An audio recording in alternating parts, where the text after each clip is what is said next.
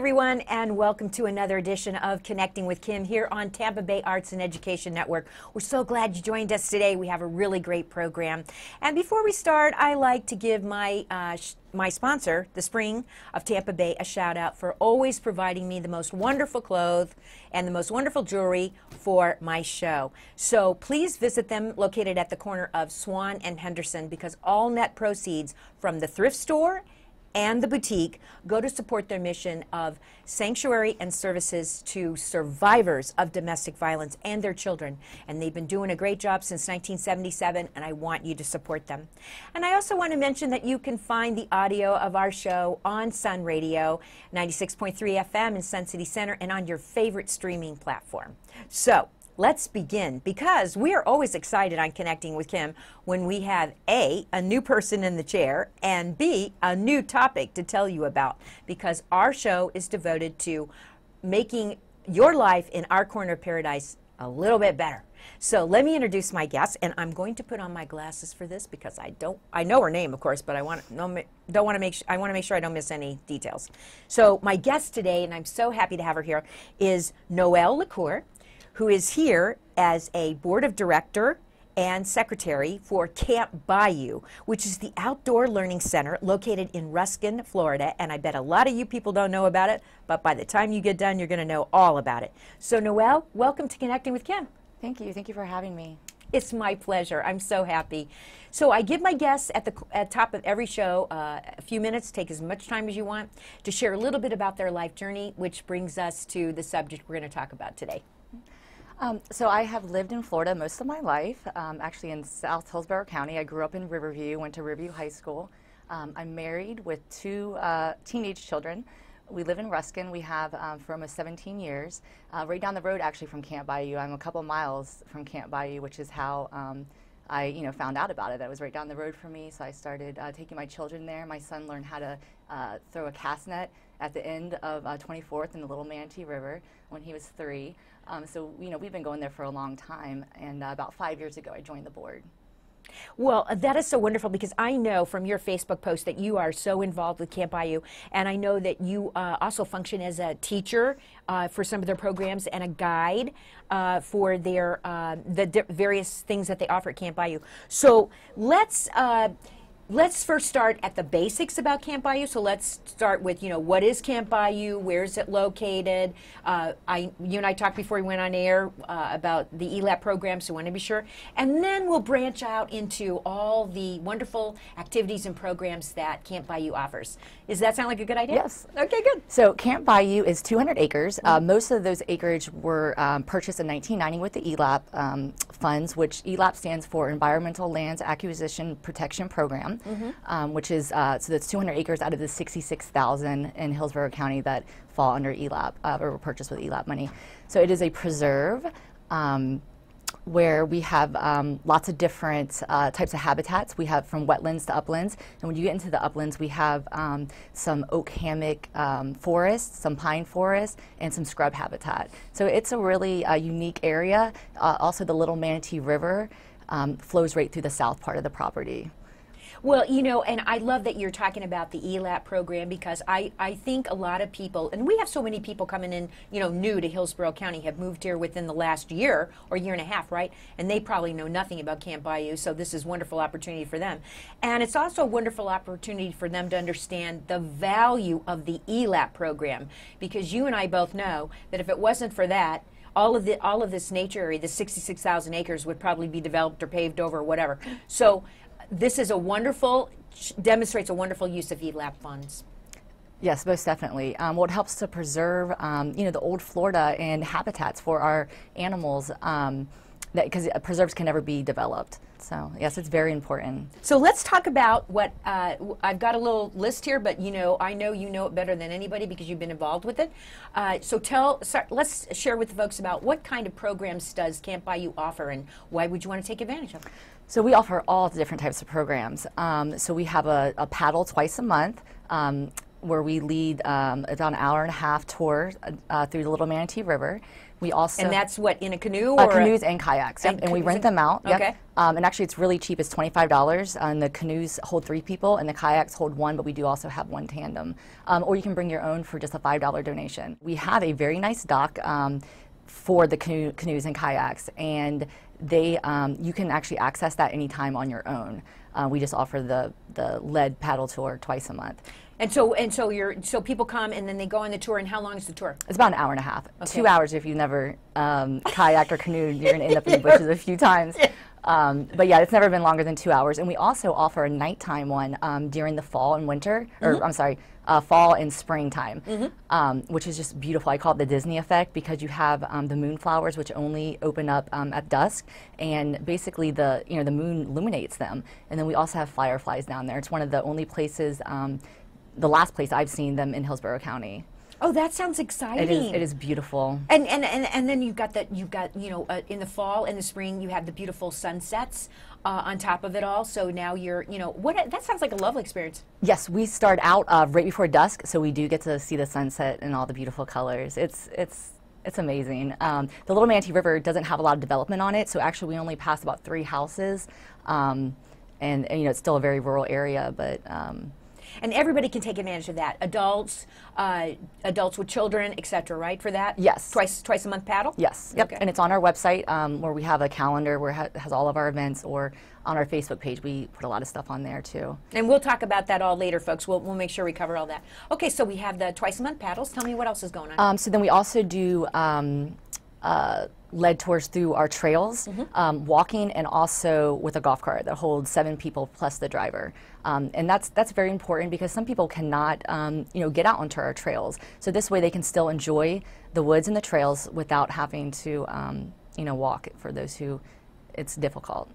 So do you have different kinds of trails with different kinds of um, uh, views? Uh, are they are they you know? So sometimes in preserves you find there's a trail for this kind of view and it takes this much time. Do you have the same? Yes, we do. Yep, we have um, a trail through the uh, wetlands and through the uplands, um, the, the oak canopy, and through the pine forest. Oh, that's it's awesome. As soon as you hit it, you can just smell, you know, all the pine trees. It's it's amazing. You can't go to Camp Bayou and not fall in love. I, and, and you can tell, folks, I haven't been there yet because I'm asking all these questions because I want to know. Uh, so, how long do the do the so the, I'm imagining the trails take as long as you want to take, right? yeah, and which trails you take. Um, I think they all add up to less than five miles. Okay. Um, yeah.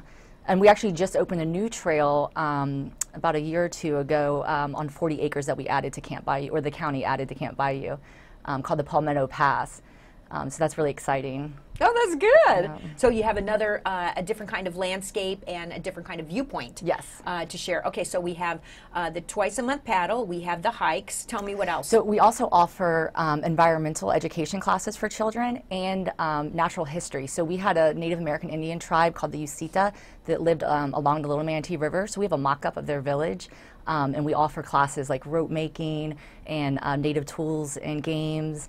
Um, we have an archaeological dig, and um, and then we also, for the environmental classes, we have uh, gopher tortoise classes, frogs and toads, uh, ant lions. That's one of my favorites, is the ant lions. Um, we, we, it's just so much. We offer, I think there's, there's more than 20 different classes, and we can even um, create classes. We, we create, we actually just created a, um, a fungus class.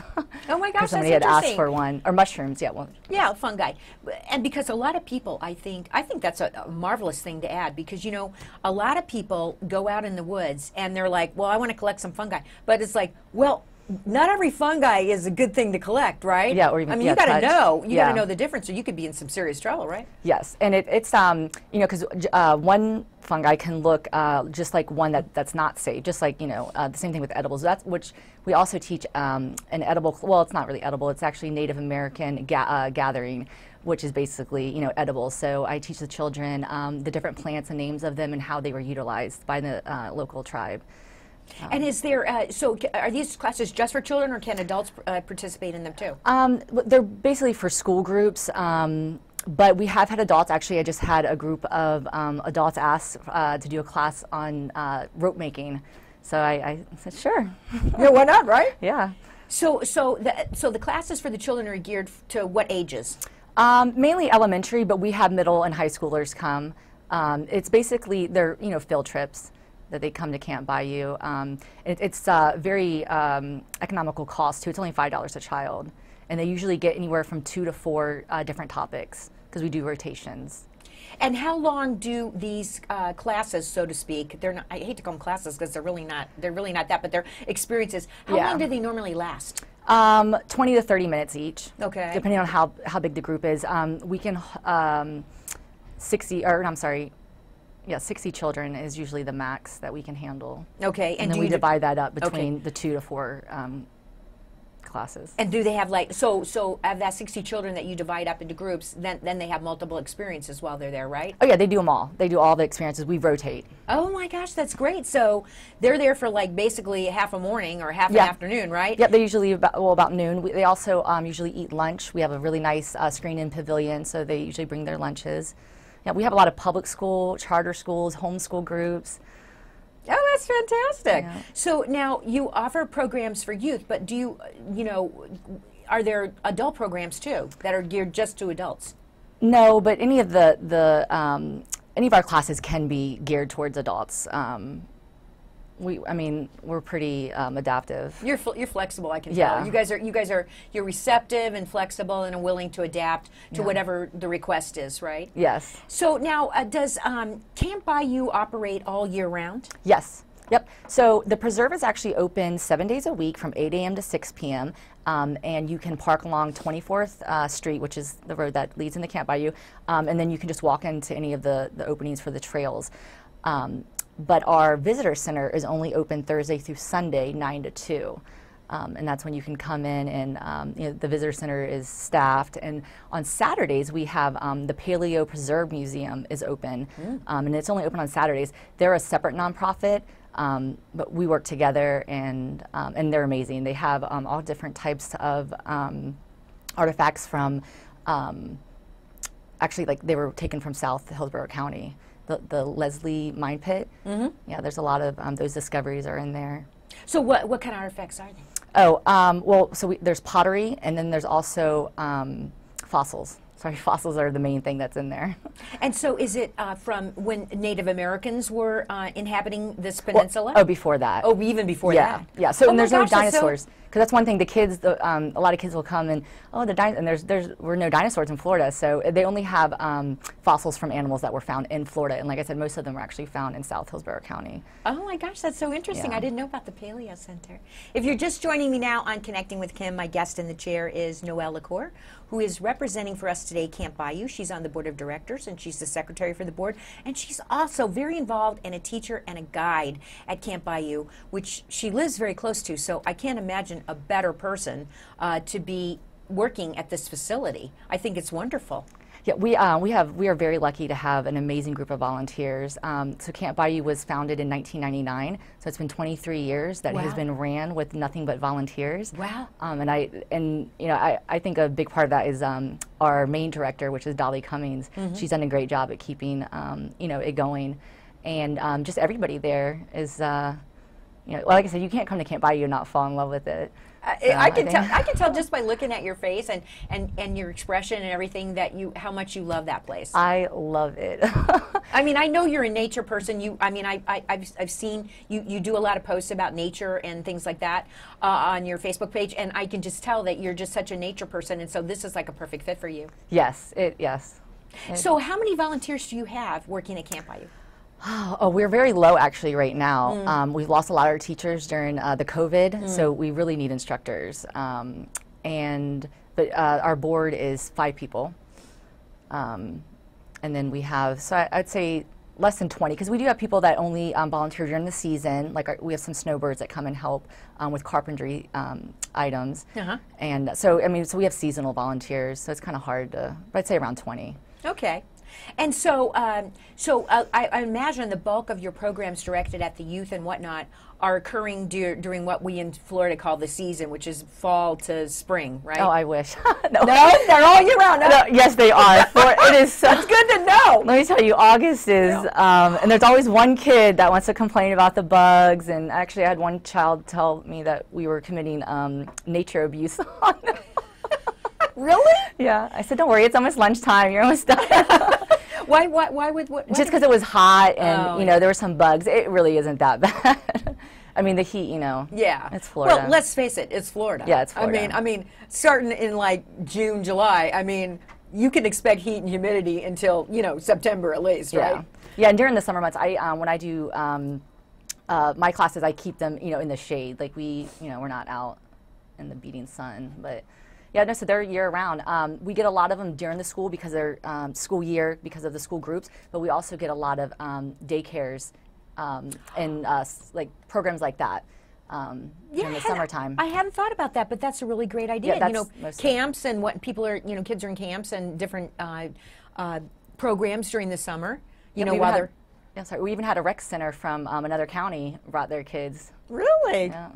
So, what would you say, since you've been so involved with Camp Bayou, um, what would you say is the most interesting experience that you've had while you've been at Camp Bayou? and I, you probably got a plethora, right?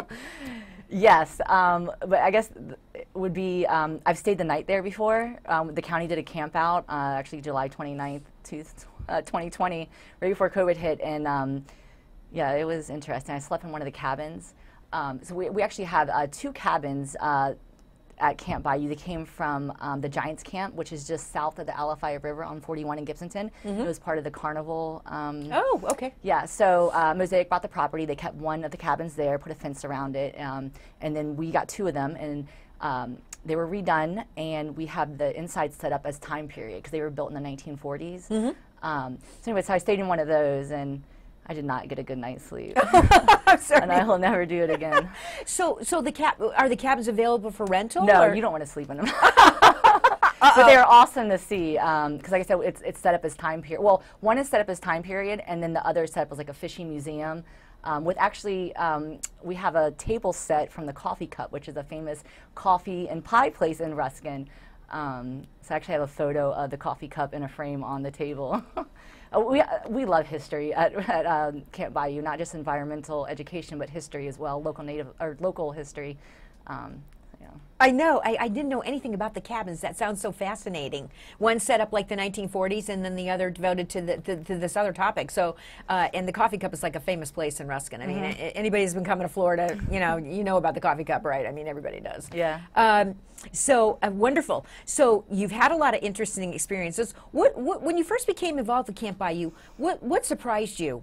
You know, like like as you as you've worked there over the years, like I'm sure you keep having new experiences. So what surprised you after you started working Uh, there? well, I'm not really sure. I've, I've been going there, like I said, for a very long time, um, since my son was three and he's almost 20 now. Um, so, you know, we've been going there for a very long time. Um, and we, uh, but on our own, just like as a preserve. Right. And then um, I, I homeschooled my youngest, so I was looking, you know, for field trips and um, um, and getting her socialized and stuff like that. So we um, started a homeschool group and we started going to Camp Bayou um, to take classes.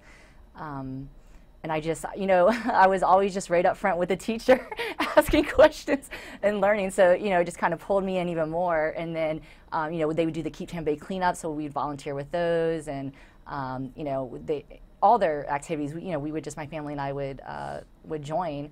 And then um, one day I went to their board meeting and they asked me if I wanted to join. You said sure. Yeah, I, I, when I went to it, I wasn't, I just wanted to see what they did, what they talked about. See that that'll teach you. I know, I Don't know. show up because they'll draft you. I know, now I'm secretary. But that's great because I, I would think that um, Camp Bayou or any organization like this, you know, benefits from having folks like yourself who, number one, love it so much. Number two, you know, are there a lot and working there and have been enjoying it for years. I mean, from my point of view, I, I think that would be great for them to have you on their board. And you're such a wonderful spokes spokesperson for their uh, for their Camp Bayou. So I think from their standpoint that it's a match made in heaven, right? yeah, we have a great board.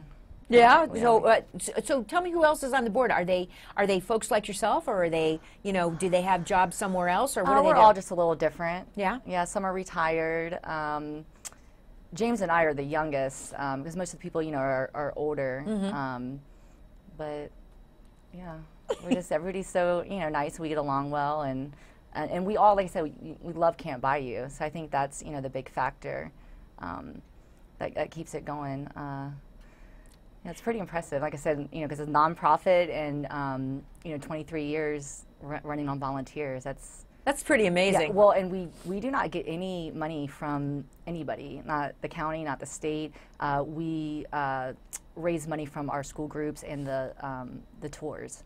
And Yeah. Well, and yeah, all the extra little things we do like that.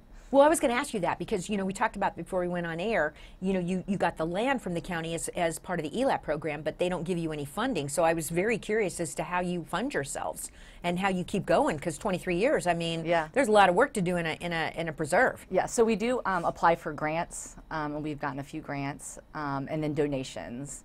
Uh, we, we get some donations, so that's that's how we we run. Um, so we have a lawnmower. We you know mow the grass um, and trim the trails. It's not too bad. The county does help out sometimes because it is ELAP property. It doesn't belong to um, you know Camp Bayou Outdoor Learning Center. Um, but So the county does. I you know I was wondering about this. So the county does for ELAP uh, land. They do provide some, some maintenance support. Oh yeah, they well they maintain their you know um, a lot of that sixty six thousand acres. Um, they maintain the fence lines, the um, the fire lanes, and, and all that, and the trails. Um, with our contract, we do we trim the trails ourselves um, and mow. Oh, Okay. So uh, we've talked about a lot of the um, programs that you offer in classes. Is there anything we've missed that you want to share with us? Because I know sometimes when you're, you know, when you're in the chair like that and you're trying to think of all the things that you want to talk about, you know, so I always want to, you know, give you an opportunity. To, did we? I always like look at my list, but I'm like, well, okay. Did we? Oh, the butterfly thing. The butterfly habitat. I remember reading about the butterfly habitat. Yes, so um, that you uh, see that as soon as you, you pull into the driveway for Camp Bayou, it's very pretty. And the um, the Sun City Audubon Club, and I hope I'm saying that right because there's actually two Audubon clubs out there, I guess. Um, one of them um, comes every single Friday. Well, their work days every Friday, but they also come other days, and um, you know pull out the the weeds and um, and and keep the shells um, where they're supposed to be because they get moved around. They do a great job.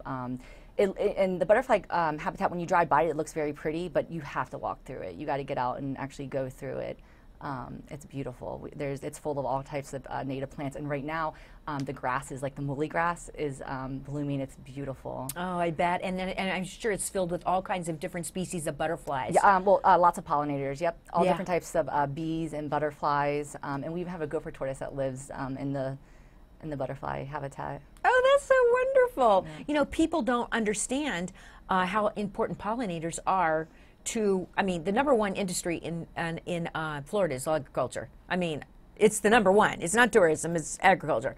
And there's no agriculture uh, without pollinators. Yeah, yeah. I think um, they say something like two thirds of um, every bite of food uh, comes, you know, is, is hap- um, happens because of a pollinator. Exactly. Yeah. So, is there any other uh, parts of Camp Bayou we haven't covered yet? I want to make sure that we get it all in because this is going to be. Um, I want everybody to know about it because I want everybody to start visiting Camp Bayou in uh, Ruskin in South Hillsborough County because it is a preserve and an outdoor learning center, and it sounds absolutely wonderful. And if you like hiking and uh, and nature and all these kind of things and paddling, which I, I love, I mean, I used to be a really avid kayaker. Um, so, tell, is there anything else we haven't covered about your offerings? I think that's about it. I'm sure I'm forgetting something. Well, don't, don't, don't worry about it. man. So I like to, uh, as we get down below five minutes or so for the show, I always love to give uh, my guests like yourself uh, an opportunity to look into their camera and share with the listening and watching audience any message that they want to deliver about the topic they're here to discuss with me. So this is your opportunity to take a few moments and just look. That's your camera right there, and you look in there and you just deliver any you know message that you want to the, the folks out there. Um, well, I guess I would just say, you know, uh, come visit us and um, check out our website at campbayou.org or our Facebook page at Camp Bayou Outdoor Learning Center. Um, we have calendars on both where you can look and see what um, what events are coming up.